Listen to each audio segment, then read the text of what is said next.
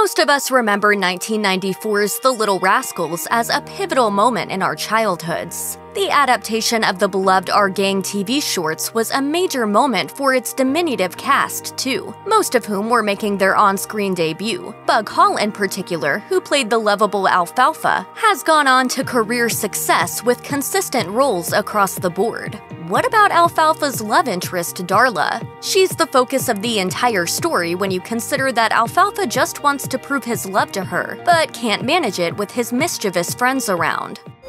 What's up, guys?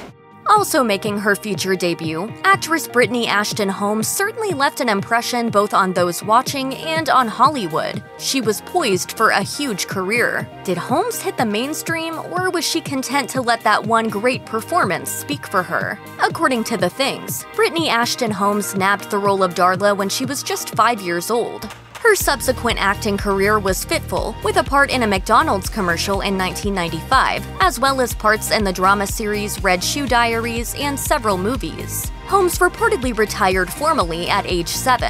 According to her old MySpace page, taking a step back from acting was purposeful. She wrote, I was an actress when I was little and did this movie called The Little Rascals. It's like really embarrassing to watch, and I don't want to act anymore.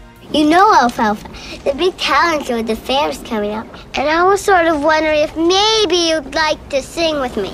There's a Twitter account tied to her name, which makes specific reference in the Twitter bio to the fact that Holmes is most well known for The Little Rascals. However, it is not clear if it is indeed the former child star, and the account hasn't tweeted anything yet. Elsewhere online, Holmes doesn't appear to have a presence, which in this day and age is likely by design. According to E! News, Holmes is now married and lives with her husband in Los Angeles. There are plenty of reports floating around about her pursuing a political science degree, but considering how long they have been circulating, it seems likely Holmes has completed her studies and is maybe even working in her chosen field by now. As MovieWeb notes, when Holmes was asked to take part in the 20th anniversary photo shoot for The Little Rascals, she was initially hesitant. Brian Pokrass, founder of production company 22 Vision, who organized it, spoke to HuffPost about it, saying, like a lot of child actors, she was guarded, but after we spoke on the phone for a while, she trusted me. This wasn't about the tabloid, it was more about the film. It all stems from the fact that they just wanted to see each other. Holmes expressed a desire on her MySpace page to reunite with Bug Hall again someday, and the former actress got her wish in 2014 when the cast came back together for the aforementioned anniversary photo shoot. During the shoot, they recreated iconic moments from The Little Rascals, even recreating the film's iconic poster. Holmes might have been hesitant to do it at first, but she certainly got into the swing of things after laying eyes on Alfalfa, Spanky, Waldo, Buckwheat, and the rest of the gang all grown up.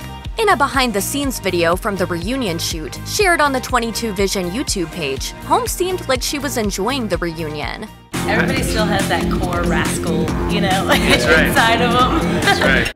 Hall, standing next to her in a throwback to their on-screen relationship of Darla and Alfalfa, admitted, quote, It feels like no time has passed since they shot the movie. Dressed up in a fashionably prim outfit and rocking some funky streaks in her hair, Holmes spoke briefly about her experience on The Little Rascals, noting, The whole movie was a dream. The general feeling throughout the shoot is of old friends reconnecting after years apart, as though nothing has changed because their first film experience was so wonderful. Perhaps then, Holmes simply had such a great time during her first acting job that it spoiled her for life. And who could blame her?